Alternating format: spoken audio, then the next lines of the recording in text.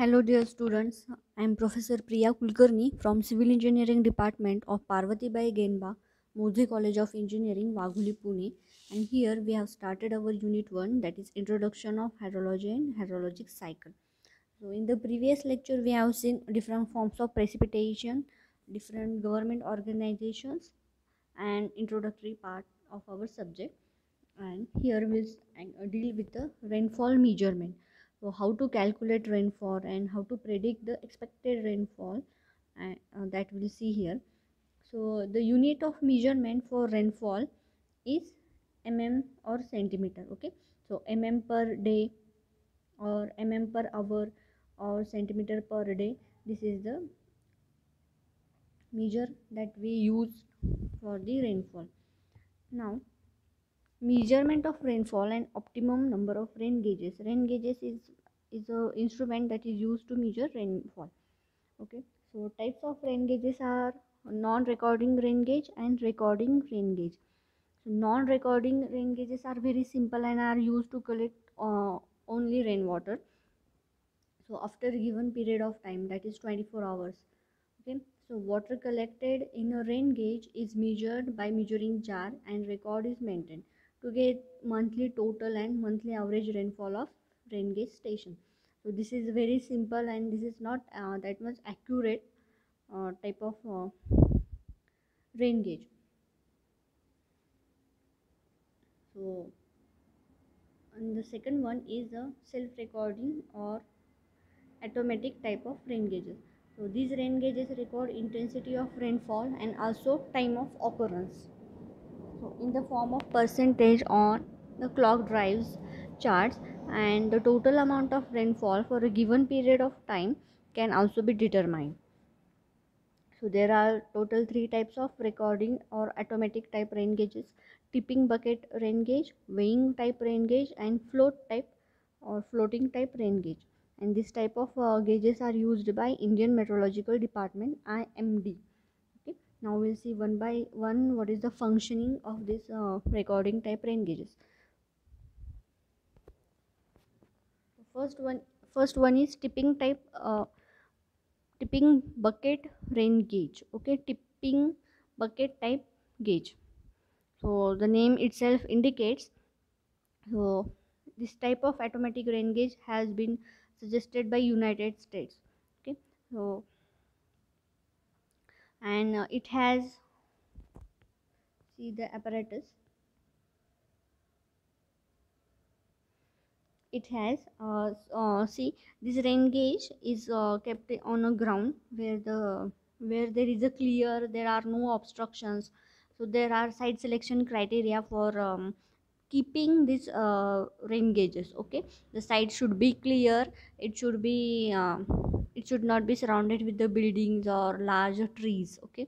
So so that whatever rainfall is there that will fall easily on this bucket. Now this uh, tipping type bucket, uh, rain gauge has this uh, receiver okay?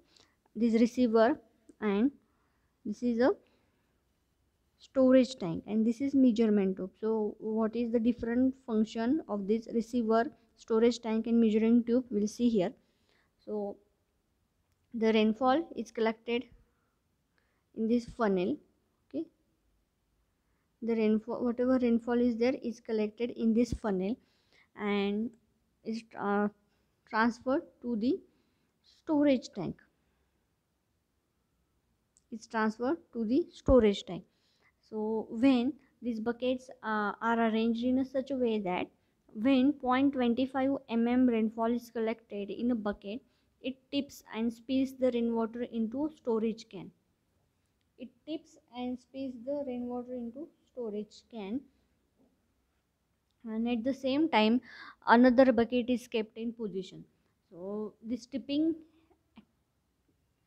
tipping means uh, this small uh, obstruction type uh, arrangement is there.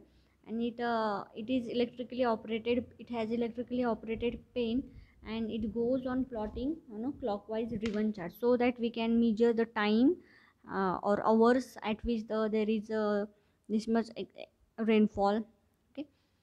The total rainfall received is measured in a storage stored can. Total rainfall is measured in a stored can and this helps to have the counter checking okay. So it is good instrument to collect the rainfall data from remote areas and it has one drawback that is it cannot measure the snowfall. Okay.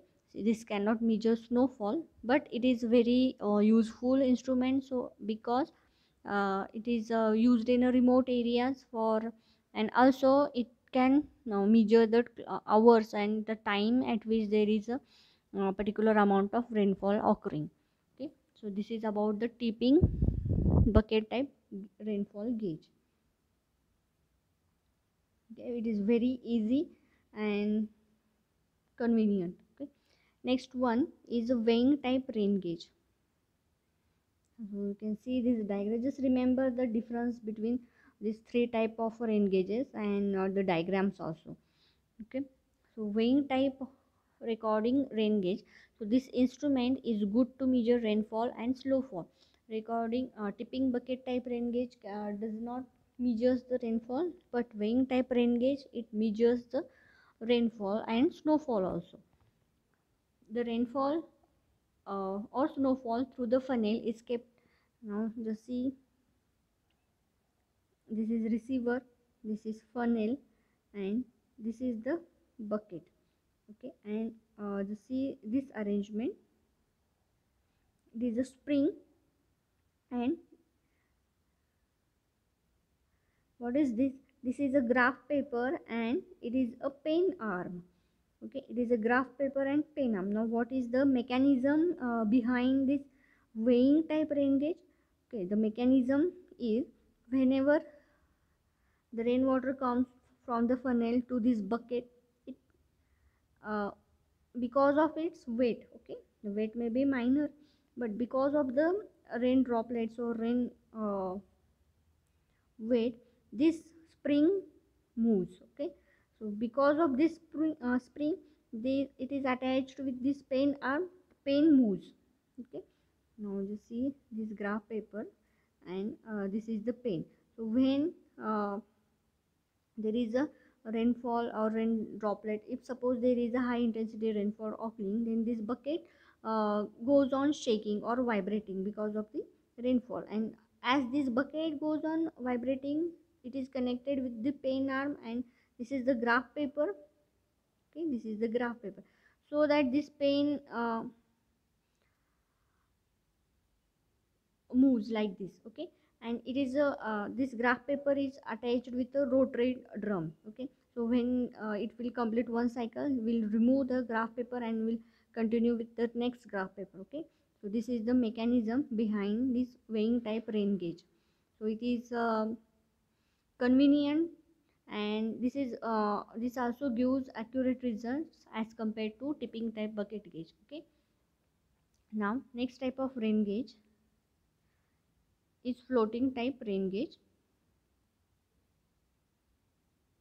Floating type rain gauge. Now here this instrument is uh, used to collect uh, rainfall. See this diagram. Here you can see uh, different diagrams of this instrument but uh, just remember the basic part and the me basic mechanism so it will be different in one book and it will be different in another book and on, on uh, google it is uh, different okay? So this uh, there are some adva- uh, uh, advancements done in the rain gauges and that uh, will you will see difference okay? But just remember the one basic thing and one basic principle behind this rain gauges.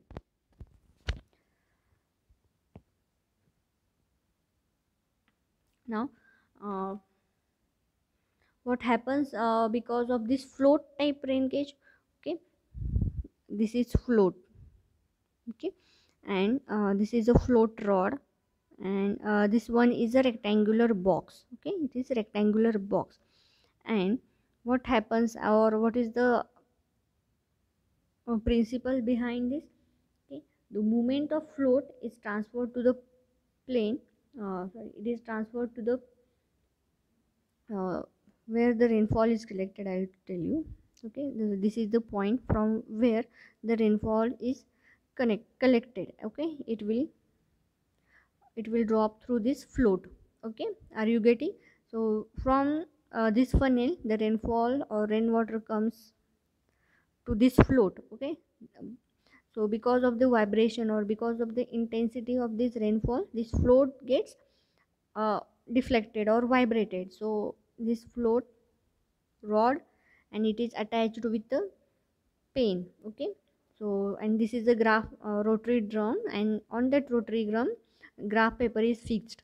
So because of the movement of this float the pane moves down moves up and down and it will uh, just mark the intensity of the rainfall okay? So this is the idea behind float type rain gauge okay it is quite similar to weighing type rain gauge but only what is difference here we are provided here with the float. Okay. Now before starting the actual rainfall measurement uh, we'll see one important point that is selection criteria of a site for rain gauge. Uh, so i have told you uh, previously uh, we cannot keep uh, the rain gauge in a crowded area in a residential area okay so what are the criterias that we have to uh, consider? Those we'll see here. So this place uh, must be leveled or open ground okay? Any object like building or tree uh, which is to be which is going to obstruct or function the rain gauge should be at least 30 meter away from the rain gauge. Should be at least 30 meter away from the rain gauge the location of rain gauge must represent the average conditions of region. So आपण अशा ठिकाणी rain gauge ठेवणार आहे जिथे average condition good असेल. जे काही आपल्या पुण्यामध्येच काही भागामध्ये जर आज सपोज वाघोलीत पाऊस पडला असेल तर तिकडे कात्रज साईडला पाऊस पडलेला नसतो. किंवा तिकडे जर पडला असेल तर इकडे पडत नाही. तर जिथे फ्रिक्वेंट रेनफॉल असतो रेग्युलर रेनफॉल असतो. सो इन केसेस अशा केसेसमध्ये आपण एक मीडिएट पॉईंट ठरवणार. आठिका रेनगेज प्लेस करना तो best location is it is to be kept it on a top of hill it will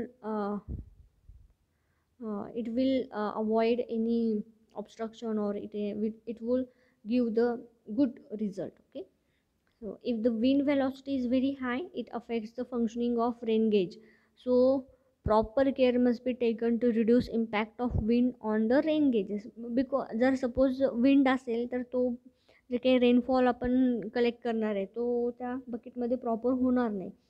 तर ते पण अवॉइड करायचं किंवा अशी प्लेस ठरवायची की जिथे जास्त विंड अफेक्ट नाही करणार आपलं मेजरमेंटवरती okay and the surface a surface area of a rain gauge is ten times greater than one centimetre area so when the rain water is measure in a measuring jar it is it is reduced to one tenth of the amount. That is M 10 mm water is actual rainfall M mm of land it would be 1 mm म्हणजे काय? जर दहा M M rainfall जर लँडवरती होत असेल तर तो काही आपण जार आपण फिक्स करणार आहे? Okay uh, so in weighing type rain gauge और in tipping bucket rain gauge आपण एक जार प्रोव्हाइड केलेला आहे. बरोबर? तर हा जार हा जो काही मेजरिंग जार आहे किंवा ट्यूब आहे जर सपोज बाहेर दहा एम एम पाऊस पडला असेल तर त्या जारमध्ये at least one M M rainfall दिसायला पाहिजे. So that accordingly we can match up our results from the actual okay so these are the points that we have to consider while uh, deciding a uh, site for a rain gauge. Now main part of our unit 1 that is rainfall measurement. So how to calculate or how to measure the rainfall? So we'll see. There are different methods to um, and uh, those are used uh, differently on different areas okay so that we'll see here.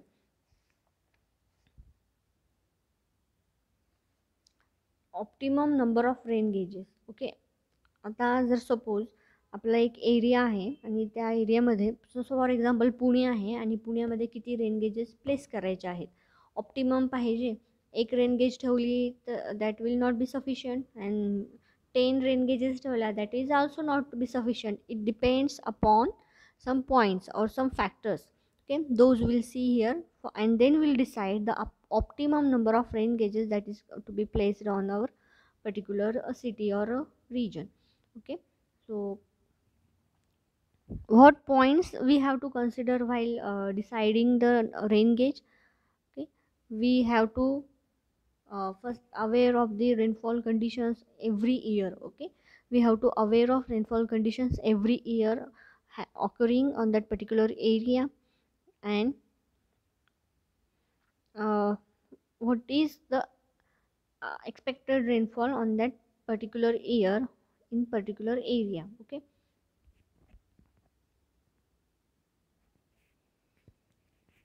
So optimum number of rain gauges can be obtained using this formula. That is n is equals to in the bracket cv upon e bracket square now what is the cv it is a coefficient of variation of rainfall based on existing rain gauge stations. And that is equal to mean upon standard deviation of rainfall. So it is uh, just like a probability we are doing. And e is the allowable percentage error in a estimate of basic mean rainfall. And by using this formula n is equals to cv upon e bracket square we can calculate the optimum number of rain gauge in particular region.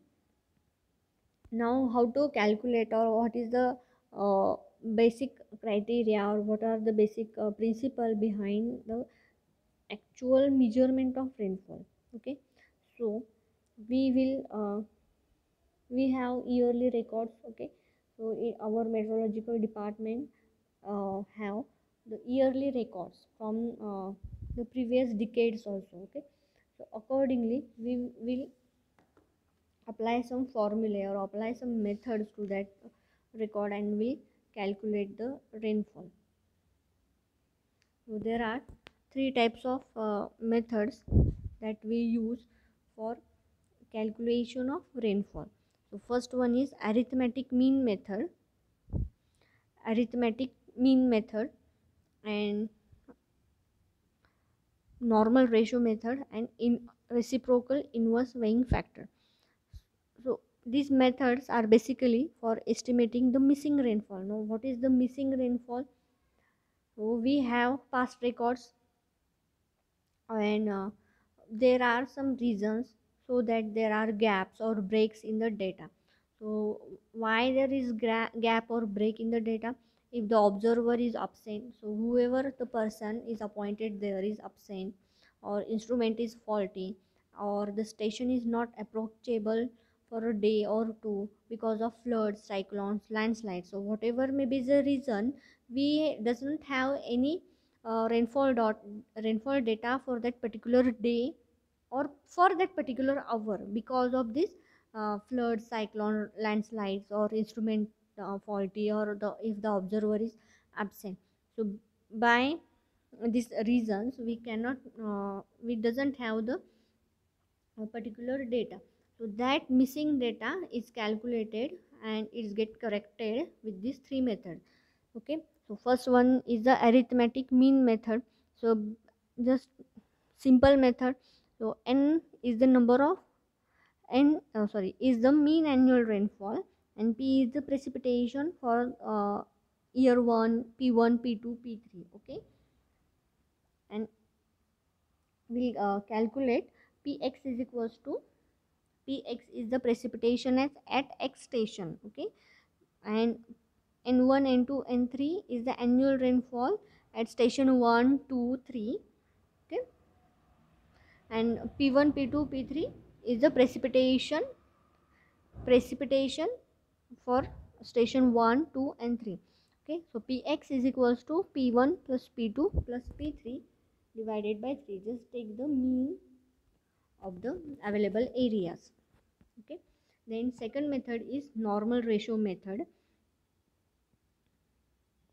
And this method uh, is applicable only when there is n1 n2 and n3 the station 1 uh, rainfall annual rainfall at station 1 2 and 3 differ within 10% of nx okay? So if first uh, station is here second station is here third station is here and this is the x station that is to be calculated okay? So the annual rainfall difference is between the 10% okay in all these four stations then and then only these methods can be implemented okay?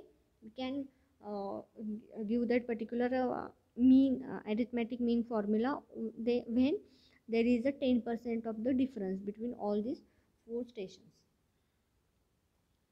Then normal ratio method. In normal ratio method what is done? Uh, we have taken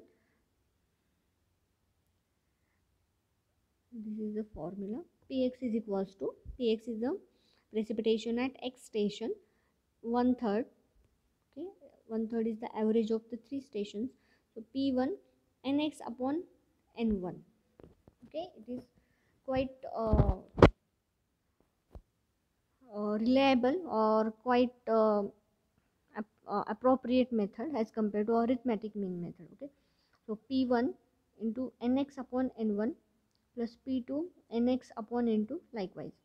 Okay then the third method is the reciprocal inverse method reciprocal inverse method. So here we are doing the inverse. So 1 upon xn xn is the uh, station um, x okay? Precipitation sorry annual rainfall at x station okay? So pn divided by xn. So this is the reciprocal inverse weighing factor. So this method is uh, also quite reliable. Here we'll see um, one by one. So just uh, in arithmetic mean method just take the uh, average of the, all the rainfalls and just calculate the missing rainfall okay? Then again there is one uh, analysis of rainfall record okay? So this met uh, uh, three methods are basically for missing rainfall uh, calculation. Now here we'll start with the analysis of rainfall records. How much will be the expected rainfall uh, in the particular region okay? So first method is arithmetic mean method. So just take the arithmetic mean of all these rainfall stations. Second one and very important one method is Thiessen polygon method. So here we are supposed to cal or supposed to draw the uh, points or locate the points and uh, from those points we are supposed to draw a polygon. So this method is invented by Thiessen so this method is called as Thiessen's polygon method. So at any point now this is the watershed or our catchment area okay? So this is the our catchment area. So any point in watershed receives same amount of rainfall as that the nearest gauge. Okay? The rainfall recorded at the gauge can be applied to any point at a distance halfway to the next station direction. Now just these are the p1 p2 p3 are the uh, rainfall stations. Okay? And what we are supposed to do? We are supposed to draw these lines. Okay? To connect this uh, to connect this uh, rain gauge stations okay? So we'll see here steps. Draw lines joining adjacent gauges okay? We have uh, drawn these uh, lines. And draw perpendicular bisector to the lines uh, created in a step 1 and extend lines created in step 2 to both direction from the respective areas for gauges now this is what we are supposed to calculate okay? Or supposed to draw the bisections. And now uh, you can see here this is a1 okay? This co area covers with the rainfall uh, with the rain gauge station 1 this uh, area covers with the a2 and this area covers with the a3 okay? A1 a2 a3 now we have uh, these areas and uh, rainfall p1 p2 p3 is the rain gauges and uh, rain gauge stations and we have rainfall data of previous years okay? So accordingly we can uh, find out the average or uh, area sorry average precipitation with this polygon okay? So what we are doing here we are just doing uh, a1 into p1 to get this p bar average rainfall okay? So this is simple numerical. Areas are given and p1 p2 p3 precipitation are given and we are supposed to calculate the average areal rainfall okay or precipitation. So this comes out like this. Very simple method and can be asked in mcq exam okay this method is known as Thiessen polygon method. Next method is isohyets method. Now we know the contours okay? In surveying we know the contours. What is the contour line? So contour line is the line joining points of equal heights okay? Contour line is the line joining points of equal height. Now here in hydrology subject we have isohyets what does the isohyet means? The isohyets are the contours or lines joining the points of equal rainfall. There we have covered covered or connected with the points of equal height in surveying and in hydrology will cover points of equal rainfall. Okay? This line is known as isohyets so it is considered as one of the most accurate method although subjective and depends upon skill and good knowledge of catchments, rainfall characteristics. तो जिस जब person जिसको वहाँ का पूरा catchment का idea है, जो वहाँ से बहुत साल से काम कर रहा है, और उसको वहाँ के एरिया का पूरा कैचमेंट का पूरे डिटेल्स कैरेक्टरिस्टिक्स पता हो, उस पर ये आइसोहाइट मेथड डिपेंड है okay just because of his experience and his uh, his staying over that particular area. So isohyets are drawn at a chosen intervals across the catchment by interpolating between gauge measurements taking into account. Okay. so the advantage of this method is is good where there is a dense network of rain. And it's also uh, flexible and consists the orographic effects. Orographic means the terrain effect because uh, we are uh, in contour we can uh, by seeing the contour map we can directly uh, picturize in our mind what will be the terrain over there so here by using this isohyets we can uh, consider or we can imagine or we can have the clear picture of what is the terrain over there and what is the actual rainfall over there?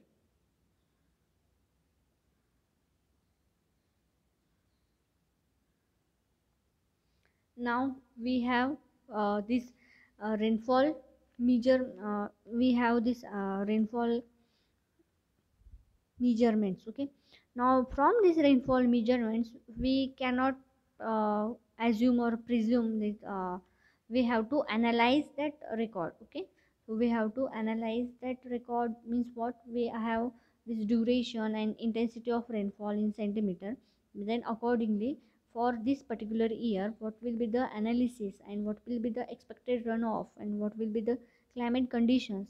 So accordingly we can uh, analyze or we can uh, prepare ourselves for any flooding or any heavy rainfall or if there are any droughts dry droughts. Okay? So for that also we will prepare. Okay we means the government will prepare. So the analysis of uh, rainfall records this is the uh, first one or first method. First type we'll use is the double mass curve. Now what is the double mass curve? So it is used to detect the, the data. If data at a site have been subjected to significant change in magnitude due to external factors such as problems with the instrumentation, observation pra practices and recording conditions. So this curve you can see here this is the cumulative value uh, surrounding at the base station okay and this is the cumulative rainfall at the test station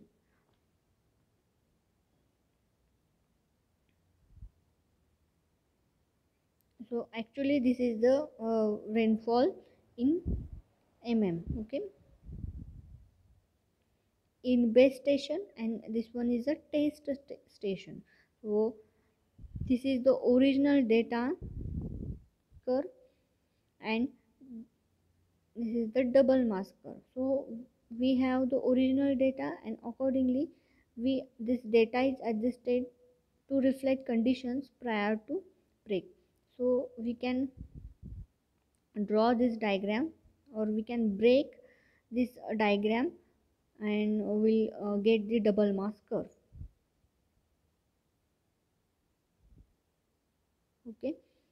So this analysis gives us uh, for this analysis is useful for us for uh, better expectation at the test result so at the test point okay.